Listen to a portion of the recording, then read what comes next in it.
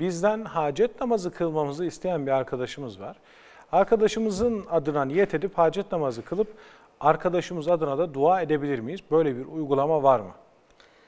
Ya Furkan Hocam şimdi şöyle söyleyelim. Yani Müslümanlar bir iş yapacakları zaman evvela yani o işin şartları neyse ona tevessül edecekler.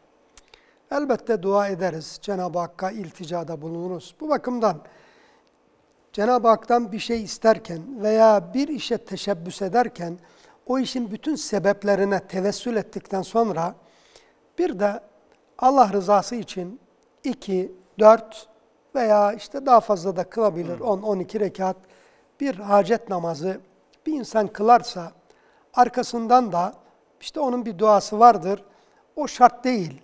Yani duada asıl olan samimiyettir, içtenliktir içinden geldiği şekilde Cenab-ı Hakk'a bu haceti için efendim talepte bulunursa eh umulur ki Cenab-ı Hak o ihtiyacını karşılar onun.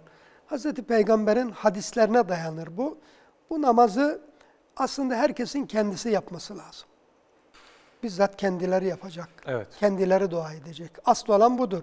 Ama böyle değil de bir bostuna veya efendim mütedeyyin olduğuna inandığı birisine ricada bulunuyor. O kişi de Allah rızası için yine bu namazı kılar. Kişi için kılmaz. Allah için kılar.